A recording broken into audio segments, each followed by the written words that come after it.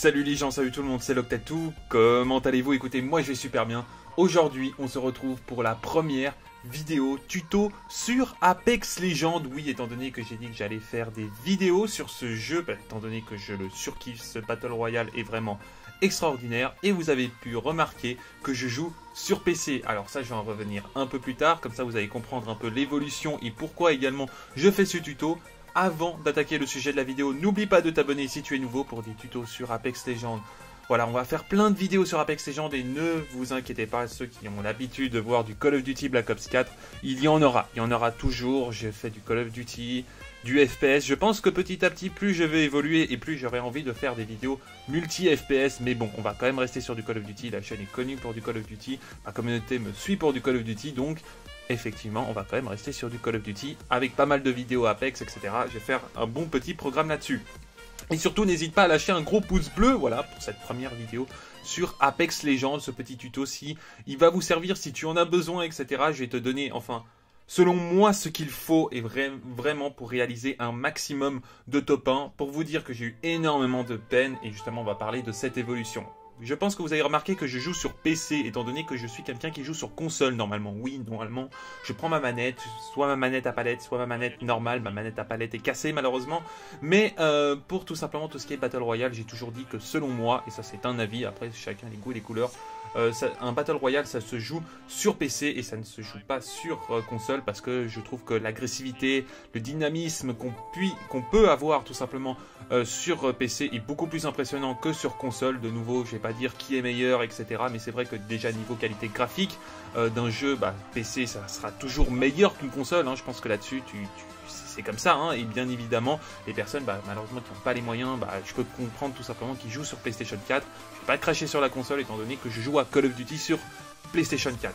Enfin bref, niveau de l'évolution, Étant donné que je suis quelqu'un qui joue à la manette, normalement, je joue énormément au clavier souris et je me suis énormément entraîné, surtout au niveau du shoot, hein, parce que c'est plutôt assez compliqué. Le niveau du déplacement, je le trouve pas super compliqué sur Apex Legends, comparé éventuellement à Fortnite, étant donné que sur Fortnite, il faut construire, construire, construire. Donc si tu as déjà l'habitude d'un FPS de base, comme Call of Duty ou comme Battlefield, et tu sais comment savoir te déplacer pour enchaîner tes adversaires et rester en, mode survie, hein, comme un tryhard quand tu as réalisé ta nucléaire sur Call of Duty, bah tu pars déjà d'un bon pied, on va pas se le cacher, c'est vrai que le mode euh, Battle Royale c'est survivre avant tout, c'est pas réaliser un maximum de kills et bien évidemment à force d'obtenir un certain niveau, tu as réalisé des kills, des kills, des kills. Bien évidemment il faut quand même aller rusher ses adversaires parce que plus vous allez attendre et surtout dans ce jeu là, plus vous allez attendre et plus vous allez dans de mauvaises positions. Sur Apex Legends c'est pas comme sur Blackout, Blackout celui qui campe il a plus d'avantages, celui qui rush euh, sur... Euh, Apex Legends en utilisant très intelligemment ses champions, et ça je vais revenir un peu plus tard, aura beaucoup plus d'avantages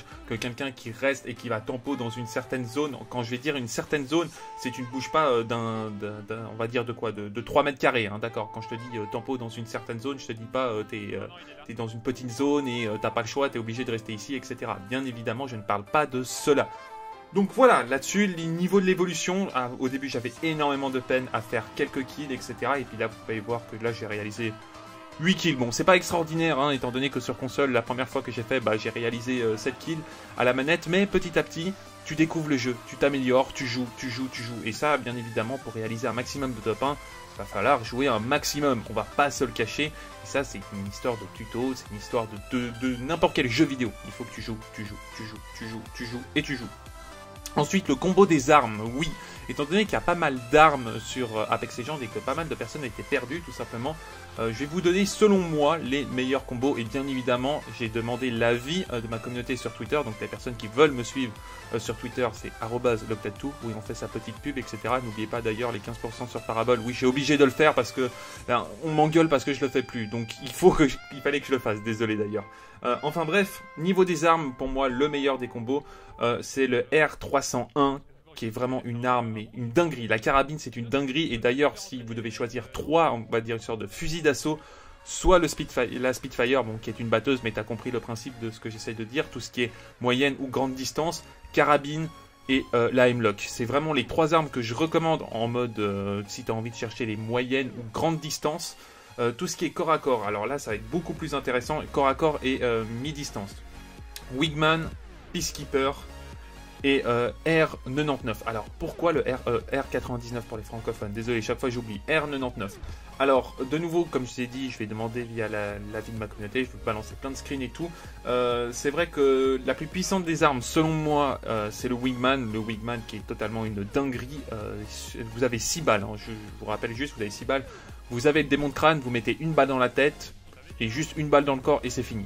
On n'en parle plus, c'est fini, etc. Donc je crois que vous pouvez même one shot. Euh, je suis même pas sûr, vraiment pour vous dire, je suis même pas sûr. Euh, mais c'est vraiment une dinguerie. Hein. Vraiment, si vous avez rien, c'est 45 de dégâts dans le corps et ça fait un maximum de dégâts. Donc je vous recommande effectivement de jouer avec ça. Il y en a certains d'ailleurs, excusez-moi, qui jouent avec euh, Wingman Peacekeeper, je vois beaucoup de potes jouer avec ça. Et c'est vrai que c'est une véritable dinguerie étant donné que à longue distance ça fait énormément de dégâts. Euh, et à mi-distance, c'est exactement la même chose. Surtout avec le chargeur de grande capacité violet. Alors là, mon pote, t'as 12 balles et t'as le shoot, t'as un shoot parfait, vraiment en mode M-bot, tu peux démolir une équipe à toi tout seul. Vraiment, le Wigman, c'est une dinguerie. Cette arme est vraiment incroyable.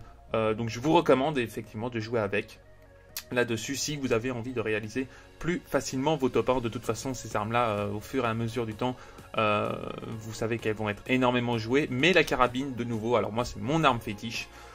Tout simplement tout ce qui est mi-distance, etc. Et surtout que ça permet également d'entraîner correctement son shoot et sa laser. Vraiment, si tu as un bon shoot, tu laser. Quelques balles dans le crâne, etc. Et ça suffit pour descendre son adversaire. Ensuite, au niveau des champions, alors c'est vrai que ça c'est une compo qui est un peu plus compliquée euh, à réaliser, ça dépend vraiment de votre style de jeu. Moi je joue énormément Bangalore et en l'occurrence euh, Mirage, donc euh, celui-là étant donné que je trouve que c'est quand même le plus intéressant et le plus fourbe. On va pas se le cacher, pour moi c'est le plus fourbe de balancer des clones, etc. et pouvoir faire certains moves et tout, et puis surtout que j'aime bien justement les histoires de déplacement, je sais bien me déplacer sur Call of Duty là-dessus, donc je trouve que Mirage c'est le plus intéressant là-dessus de savoir être intelligent de comment savoir se déplacer euh, par rapport à ça.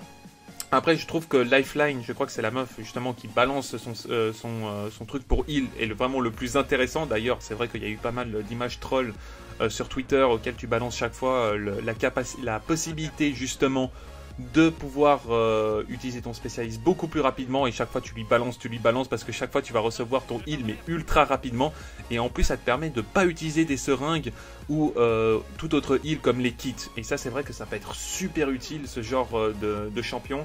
Après Bangalore, je trouve qu'il est ultra nécessaire, vraiment. Par exemple, il y en a d'autres que je m'en fous, comme Gibraltar. Vraiment, Gibraltar, je, le trouve pas intéressant. Hein, de nouveau, c'est mon avis, hein, certains à son avis, etc. Euh, niveau des compos, bien évidemment, un heal, donc je propose justement Lifeline, et après, bien évidemment, faites ce que vous avez envie. C'est vrai que la meuf qui fait des portails, c'est super, super intéressant. Vous allez voir que lors, de la réalisation de ce top 1, on va se prendre euh, un ulti dans la tronche. Qu'est-ce qu'on va faire? On va se barrer, et euh, ça va nous permettre tout simplement de nous en sortir. Voilà. Donc là-dessus, les champions, ça c'est évident, et bien évidemment, le team play avec les champions. Alors, déjà, on va parler du team play normal. Contrairement à Call of Duty, ce jeu-là est énormément basé sur le team play. C'est-à-dire que si tu vas jouer en groupe de 3, bah, tu ça va être beaucoup plus facile que si tu lances solo et avec euh, deux personnes inconnues. Là-dessus, je pense que t'es pas bête. Je pense que t'as pas besoin de voir ce tuto pour comprendre ça. Et je pense que tu es assez intelligent euh, euh, pour, pour, savoir ça là-dessus. je t'apprends rien de nouveau par rapport à ça. Mais par rapport, je veux dire, à l'ensemble du, gameplay qu'on peut avoir justement sur Apex Legends comparé à Blackout, c'est que par exemple Blackout, en duo, euh, si tu es tout seul face à plusieurs équipes qui sont en duo, bah tu peux terminer tes équipes à toi tout seul. Vraiment, c'est beaucoup plus individualiste, même s'ils essayent de rajouter l'histoire du, du, du, team play, etc. C'est vrai que Code est beaucoup plus individualiste là-dessus, et euh, c'est tu vois vraiment une différence. Alors sur Apex Legends, c'est vrai que c'est beaucoup plus basé sur le team play, euh, l'utilisation d'ulti, les utilisations justement de tes champions, comme par exemple, je sais pas, le, la fumée, ou tout simplement comme le mien avec le clone, tout simplement pour savoir où sont les adversaires euh, par rapport à telle ou telle situation. Et c'est vrai qu'il faut vraiment jouer en groupe pour réaliser un maximum de choses. Donc des fois, je vous recommande tout simplement de jouer avec les personnes et d'activer votre micro pour parler, communiquer, etc. C'est également ce que je fais sur PC. Normalement, j'aimais pas trop faire ça, euh, communiquer avec des personnes que je connais pas, etc. Mais c'est plutôt assez marrant parce qu'on se retrouve dans des, situations assez drôles où les personnes tryhard et tout, etc. Et euh, vraiment pur kiff, vraiment c'est un, truc, c'est un bon truc. Franchement, c'est un bon truc et sur PC, la communauté est grave stylée sur Apex Legends, même si certains sont un peu têtus, mais c'est toujours assez drôle, tu vois, on est tous têtus, moi je suis vraiment très très têtu des fois quand je dis je veux aller ici, point barre. C'est ne cherche pas à négocier, et puis des fois l'autre aussi est têtu, enfin bref. Peu importe là-dessus, c'est très important, l'utilisation de vos champions et l'utilisation de le team play. Le team play, les deux. Et ça, ça va être déjà un énorme avantage de faire des fusions entre les trucs. Par exemple, quelqu'un Bangalore va utiliser sa fumée, toi tu vas utiliser le clone qui va passer à travers la fumée, etc. C'est vraiment super, super, super, super important. Et au début, j'étais quelqu'un qui n'utilisait pas ses ultis. Euh, et puis vous allez voir que lors de ce gameplay-là, bah, je n'ai pas vraiment utilisé euh, tout simplement mon, vraiment l'ulti de Mirage parce que forcément je vais pas en avoir énormément besoin, mais si vraiment euh, lors du premier fight, ou plutôt du deuxième fight, vous en avez besoin, utilisez-le directement. On n'est pas comme sur Call of Duty, euh, auquel tu dois attendre ton spécialiste, utiliser exactement. Là, euh, n'oubliez pas, vous êtes mort, vous êtes mort. Hein, c'est fini. Donc il faut vraiment utiliser dès que vous en avez la possibilité. D'accord? C'est vraiment très important.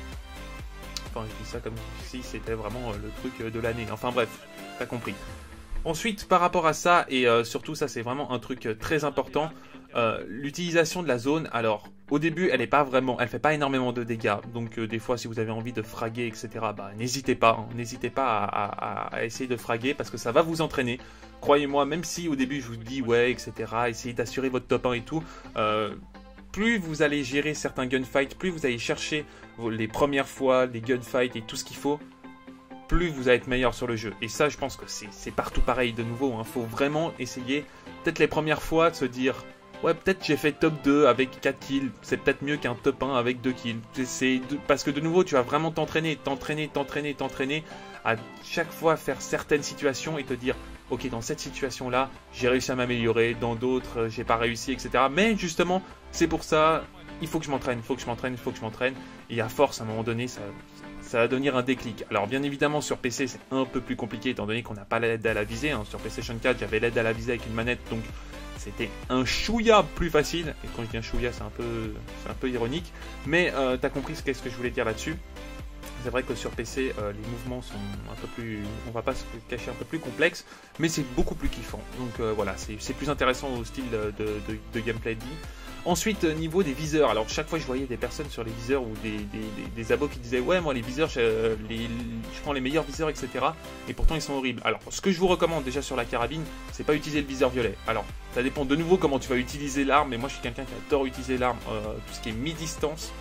Euh, là-dessus et longue distance pas trop enfin je vais plutôt chercher le mi-distance pour ensuite aller après le, le presser avec un fusil à pompe ou le wigman etc donc c'est vrai que c'est plutôt on va dire, euh, moyenne et courte distance. Effectivement, étant donné que j'ai pas un shoot exceptionnel au clavier souris, étant donné que je viens de commencer euh, à reprendre le clavier souris, bah, c'est un peu plus compliqué. Donc effectivement, peut-être qu'il va falloir que j'améliore ça.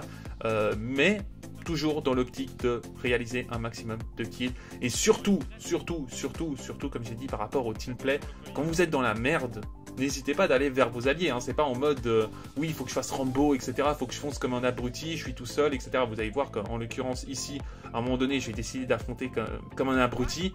J'ai pu voir que j'ai vraiment de la chance.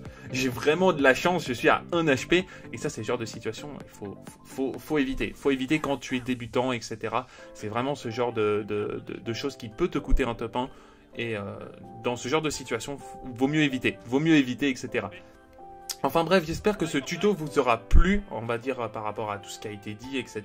C'est vrai que c'est un premier tuto par rapport à Apex Legends. Si vous avez d'autres choses auxquelles vous voulez que je développe, euh, bah, n'hésitez pas à me le dire. Voilà, comme ça je donne des petits, euh, des petites astuces, comme je vous ai dit, par rapport au combo d'armes, etc. N'hésitez pas d'ailleurs de, me dire votre combo d'armes dans l'espace des commentaires. Ce serait quand même assez intéressant. Quelles sont les sortes de vidéos que vous voulez voir sur la chaîne avec euh, du Apex Legends? Étant donné que j'ai certaines vidéos, mais peut-être qu'elles ne seront pas forcément aussi intéressantes par rapport à votre attente. Euh, sur la chaîne et ça ça peut être quand même assez euh, assez cool tout simplement voilà ça peut être assez cool de voir une certaine évolution sur le jeu et comme j'ai dit je prends un maximum de plaisir à jouer sur ce jeu un pur bonheur franchement un pur bonheur et ça me permet de temps en temps bah, d'oublier un peu Call of Duty Black Ops 4 et de m'amuser sur Apex Legends, faire les deux, etc. Faire des switches entre les deux et c'est plutôt assez cool. Voilà les gens, c'était l'Octet tout et puis je vous dis bye et à la prochaine. Peace out.